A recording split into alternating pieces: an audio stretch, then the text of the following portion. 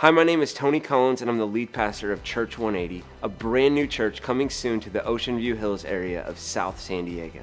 I wanted to take a minute to share with you a couple things real quick. For one, you may think may be thinking like why church 180 well our name is church 180 because we want we live to see people turn toward the hope that we believe that only jesus offers uh, we're all looking for hope and uh, we believe that he is the source of that hope and here's the second thing just because we haven't started this church yet doesn't mean that you can't be a part of what's going on right now uh, we're going to have several uh, gatherings and sneak peek preview services leading up to the official grand opening of this church. And here's the deal you're invited right now.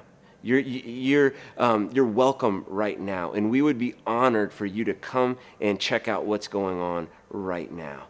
Uh, there's the, you, you, can see more details about what's happening on our social media platforms on Instagram, on Facebook, and you can also check out more details at church180sd.com. Much love, y'all.